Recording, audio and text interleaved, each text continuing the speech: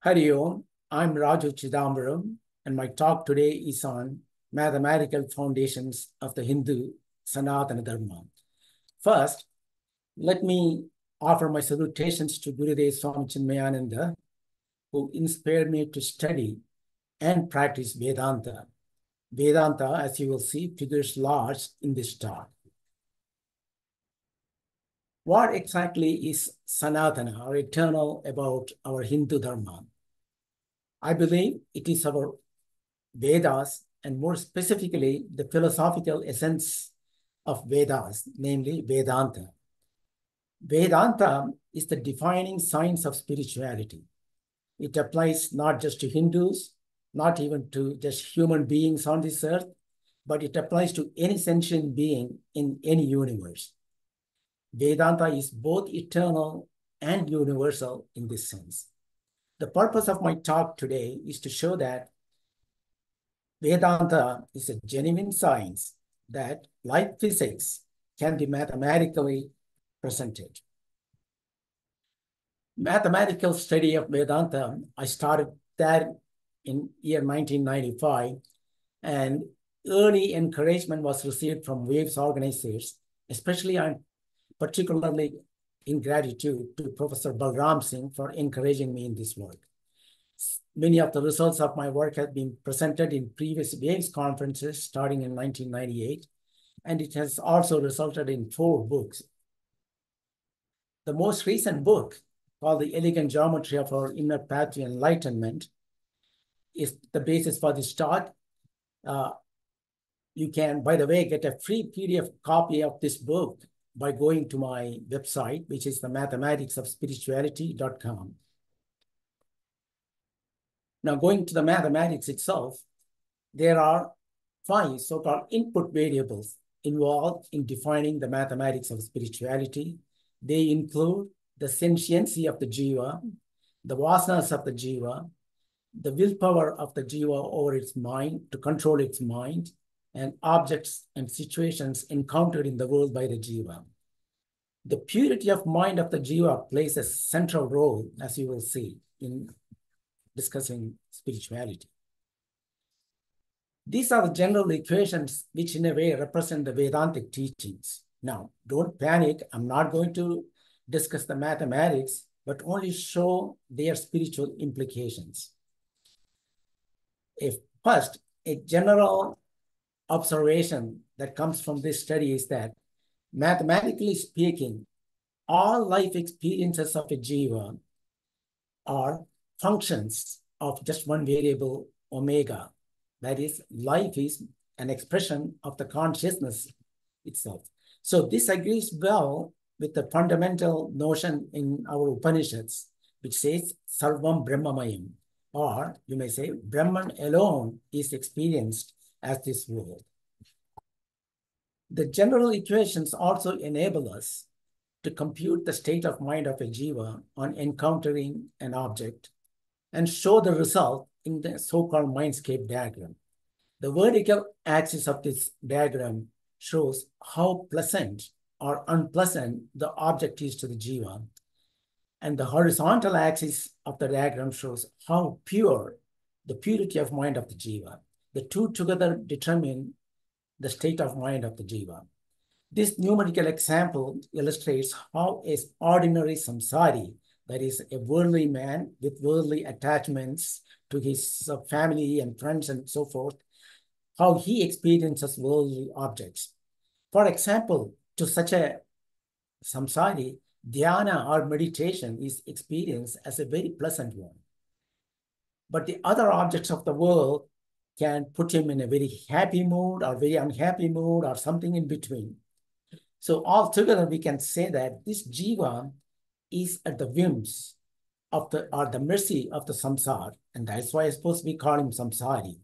We know this fact only too well. Now, compare this with the mindscape diagram of a yogi.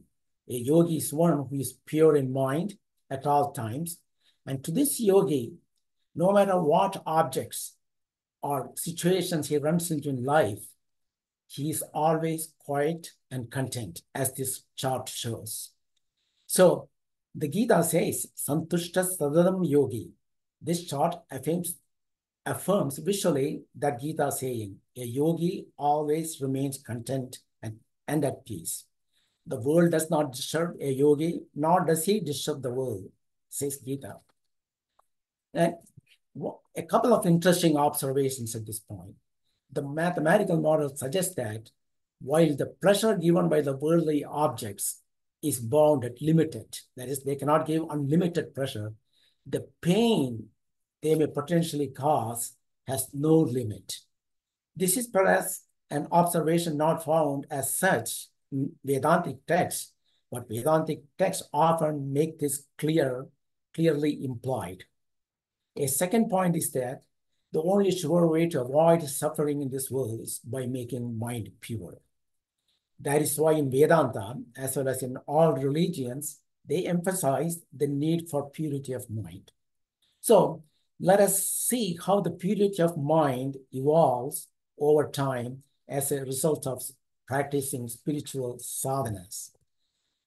The Chinmaya model shown here is based on a fact of spirituality often taught by Swami Chinmayananda, and it is a straightforward way to model spiritual evolution mathematically. Again, I do not intend to emphasize on the math, but I will show just one, one of the many amazing results that this equation produces. Namely, it shows this math leads to a picture which in one single diagram shows a jiva's entire journey from its birth in samsara to its final release from the same samsara. So let's look at that picture. You will not see this picture in any Vedantic text, yet it is an eloquent picture that showcases Vedantic teachings. The inner spiritual path from the jiva's first birth at point A to realizing the self, the Om or the Atman at the center turns out to be a right-handed inbound Archimedean spiral. Please look at this picture carefully because it is both a beautiful and meaningful, meaningful picture, especially if you are a Hindu. Especially if you're a Hindu. Why? We Hindus are accustomed to doing pradakshinas or circumambulations around a temple. We walk clockwise around the altar of the deity inside the temple. Mathematics is suggesting that in its spiritual path to realize the self, the jiva does pradakshinas, moving clockwise around the Atman, which the Upanishads say is in the temple of our heart.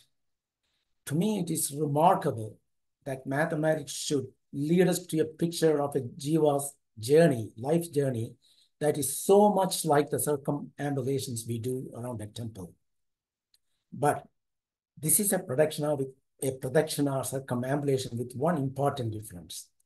While walking around clockwise around in circle, we also keep stepping closer with every step towards the center. In other words, in this inbound spiraling path, there are two motions, a circular motion around the center and an inward motion towards the center. The circular motion represents a jiva's worldly life or transactional, vyavaharik life. And this consists of many birth-death cycles. So this is the samsara chakra. The inward motion is our spiritual or adhyatmic life that takes us inwards to Atman in the center. Now, something worth noting in this picture. A jiva, you will note, cannot reach the self in the center without going around the circle of worldly life. That is, however dedicated a jiva may be to its spiritual goal to realize, release moksha from the samsara, it does not have the option to drop out of its worldly life. And why? Because our worldly life is God-willed and there is no other way but to live that.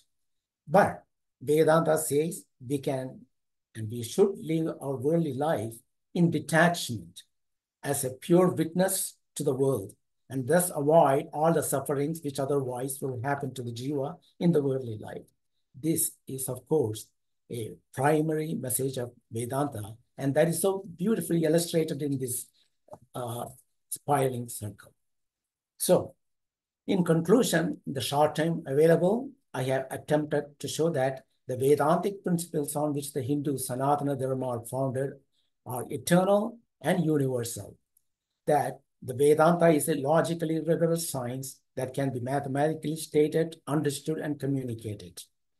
Altogether, mathematical spirituality, while it only reaffirms Vedantic teachings, has given us some elegant new visual ways to discuss and communicate these Vedantic teachings.